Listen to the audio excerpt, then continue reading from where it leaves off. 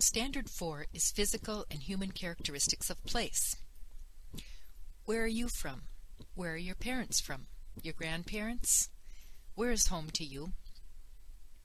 For most of us, place and your identity go hand in hand.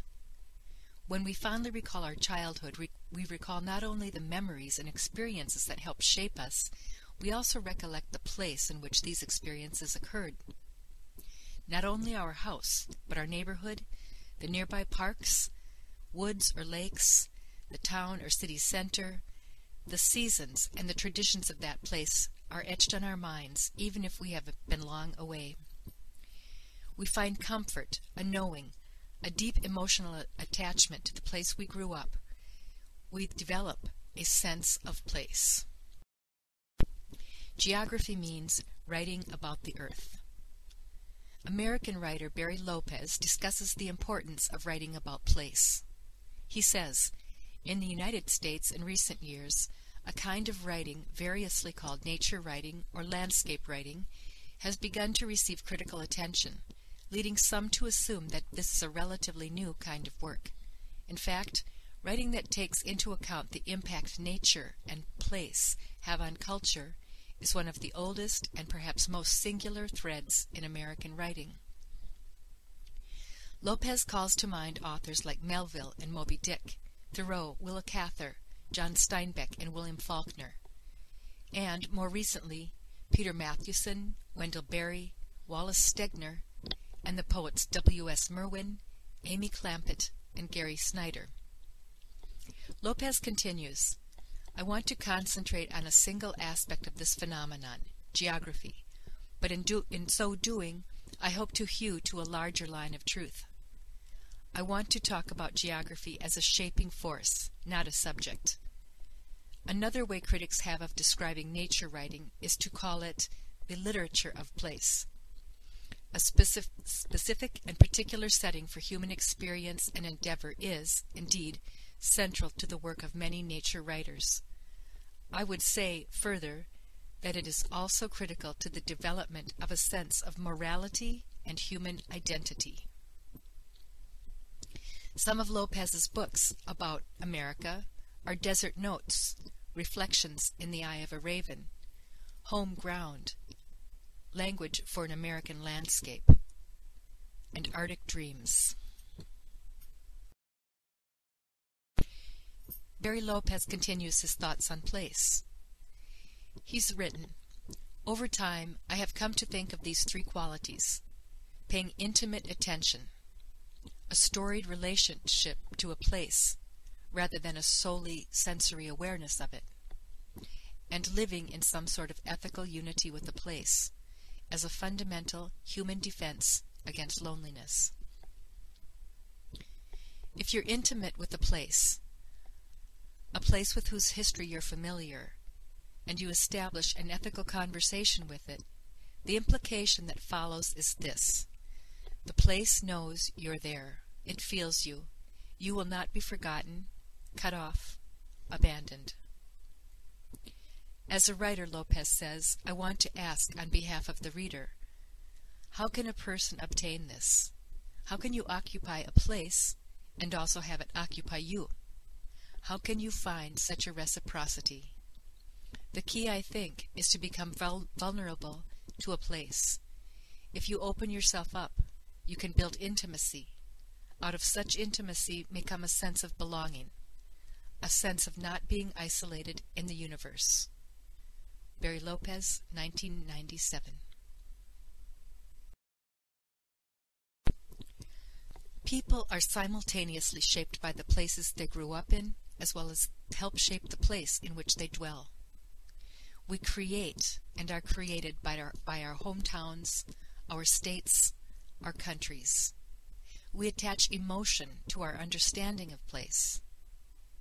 Geographers study place by examining not only the natural and built environments of a place, but also by learning the history of a place, its evolution, and what it means to those who inhabit a place.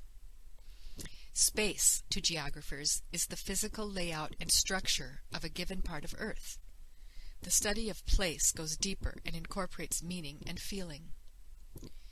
Places are large and small, urban and rural, parks and trails, woodlands, rivers, edges, ballparks, shopping malls, and coffee houses. We name our places, and our places have boundaries. In this slide, we see a picture of signage at a strip mall. This strip mall could be in practically any town or city in urban and suburban America.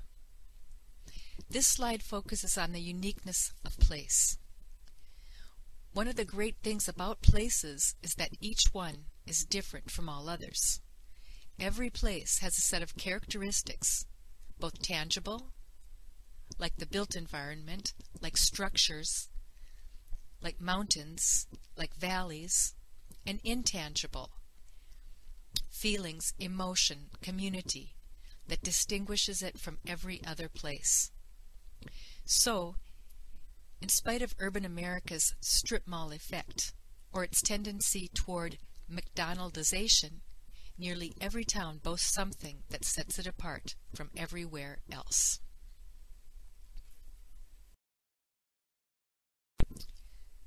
Place might possess a unique physical geographic setting, like this slide you see of San Francisco.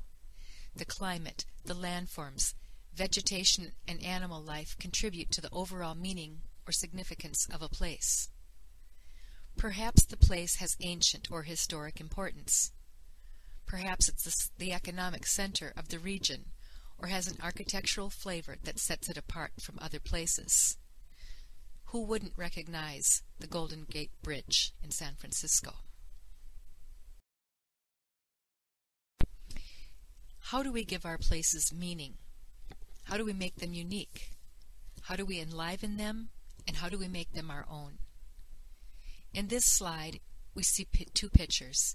The picture on the left shows us the poster for the Payson Park Music Festival, a great way for families to gather in the evenings and celebrate their hometown.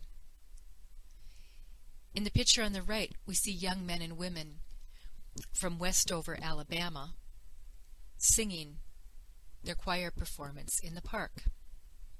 Festivals, pageants, parades, and music performances are some of the human characteristics that inform us about a place, about the vibrancy and community cohesion of a town, and our own human identity. Settlement patterns and ethnic and religious diversity also give meaning to a place and add to its richness, its depth, and its potential. In this picture, we have two images. In the lower left-hand corner, we see the Islamic Cultural Center and Mosque in Tempe, Arizona, near Arizona State University. One thing this tells us is that there must be a significant number of Muslims in the community as students or families to support a mosque. The picture at the top right shows us the composition of U.S. public high school graduates by race and ethnicity, between 2004 and projected until 2022.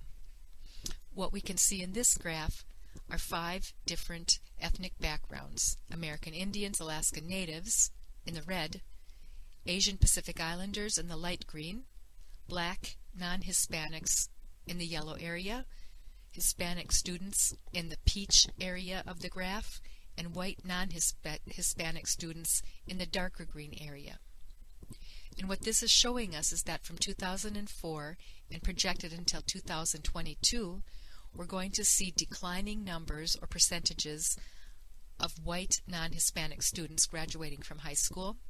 We'll see increasing numbers of Hispanic students graduating from high school, about the same numbers of black non-Hispanic students graduating from high school, a bit higher numbers of Asian Pacific Islander students graduating, and a fairly consistent number of American Indian or Alaskan Native students graduating.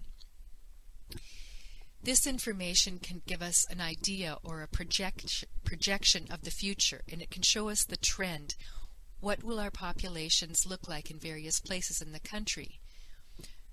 One question might be, how will a library plan to stock its shelves in the next 5, 10, or 20 years to accommodate the changing needs of its population.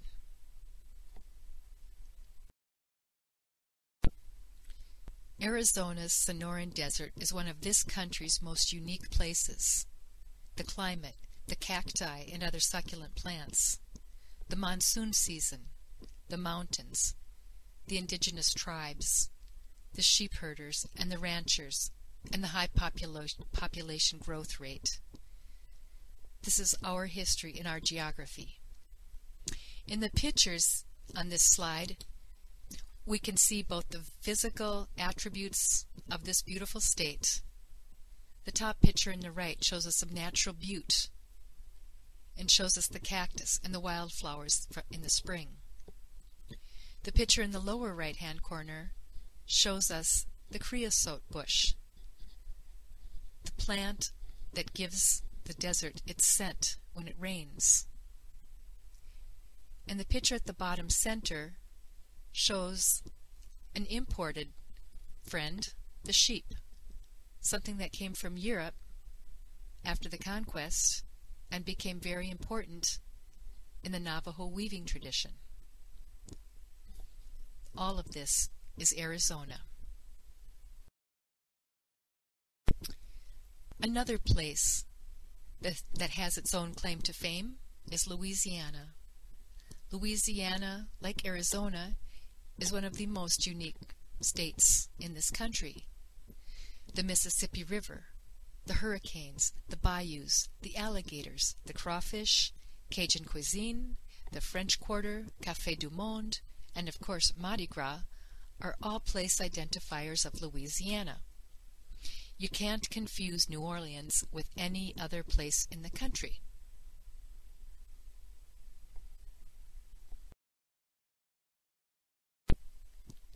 Characteristics of place. This slide is Wisconsin. The Scandinavian settlers, the lumber barons, the Great Lakes, icy winters and mosquitoes in the summer, deer hunting season, the packers, cheeseheads, brats, and breweries, and we can go on and on. Maybe you can guess this is my state. How would you describe the place you call home? How did you get how did your hometown get its name? What is your state's football or baseball team team named? The population on the sign above has changed little over the decades. People moved to the quiet town of Rice Lake to raise families. College-age students move out and move on. Historically, this town was settled by Scandinavians and Czechs. This is my town. How do we honor our town and our history? What is the sense of place that we feel when we think about our town? The sign above has a loon and pine trees, two common sights in northern Wisconsin. The logo for the town of Rice Lake. The sign in the lower right-hand portion of this slide reads, The congregation for this church traces its roots back to 1870, when people first held services in their homes in what was originally called Stanfold.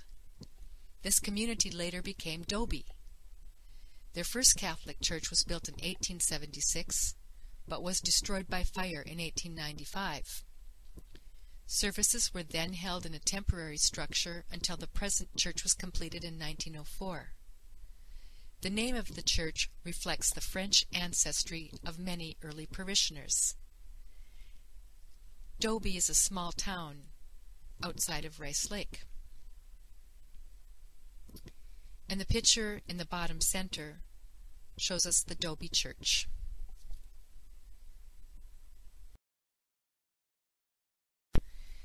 Evolution of place. Evolution and change of a place are inevitable. A place will ultimately change, either by inside forces or outside forces, and probably by a combination of both.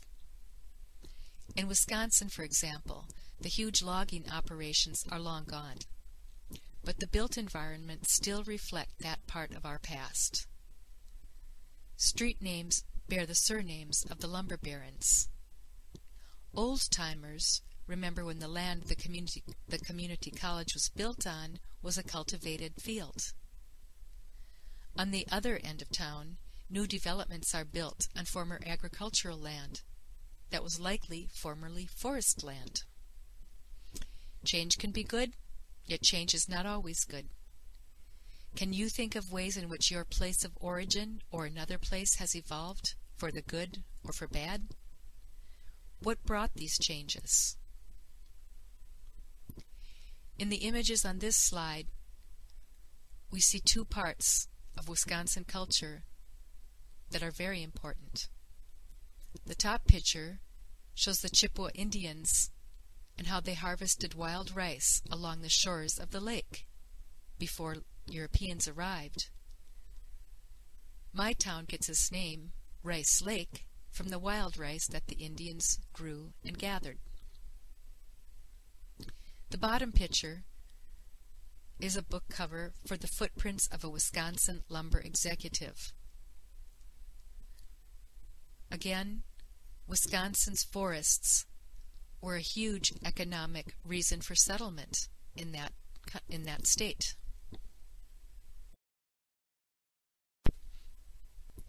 Arizona's towns and cities have seen many transformations throughout the decades. In 2012, Arizona will celebrate its centennial as a state. What will the highlights be? What are the characteristics about Arizona that will be most noted? Notice in this slide the image of the state shield.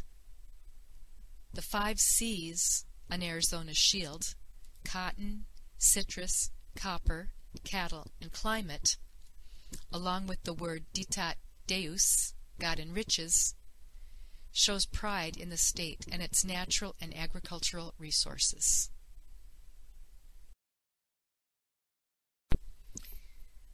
The image on this slide shows the best cities in the United States, and of course, the best cities as identified by the residents of those places. You can see that Wisconsin boasts, boasts the best city to find a job in 2009. Atlanta declares itself the best city for single living. The best fine, di fine dining is found in Louisiana, probably New Orleans. You find the cheapest gas in our central states.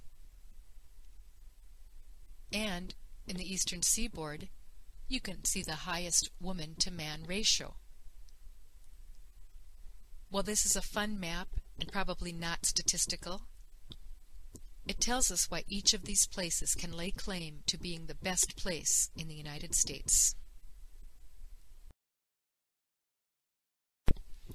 In his book, A Way in the World, Nobel Prize for Literature recipient, West Indian writer V.S. Naipaul wrote, The landscape I had grown up in and felt myself part of had been wiped clean of this other past. Different people living for centuries where we now trod. Different people with their own calendar and reverences and ideas of human association. Different houses or huts. Different roads or paths, different crops and fields and vegetation, different views, speeds, reasons for journeys, different ideas of the ages of man, different ideas of the enemy and fellowship and sanctity, and what mean owed themselves. Places continually grow and change. Landscapes are altered. One group of people may move out as another replaces it. Boundaries expand, are reorganized, and may even disappear.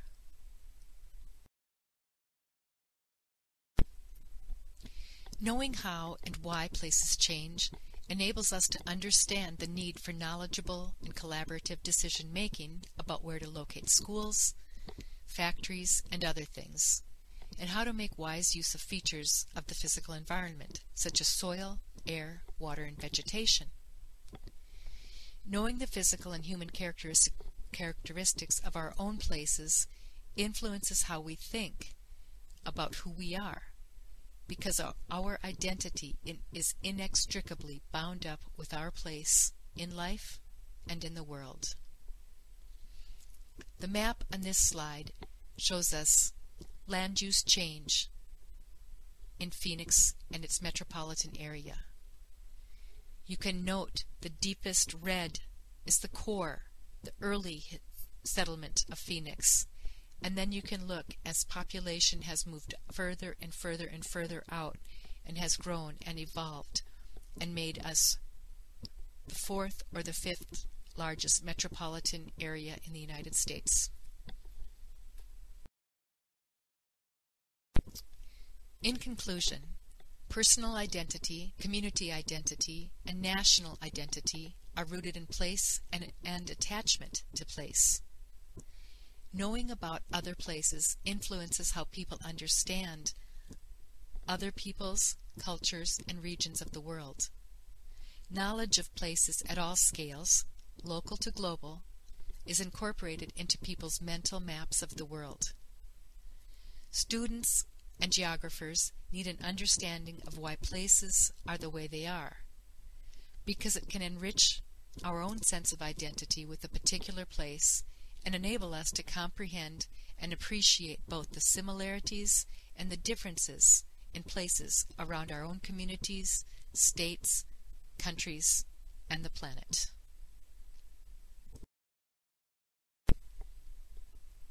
This lecture is by Elizabeth Larson, School of Geographical Sciences and Urban Planning, Arizona State University, 2010.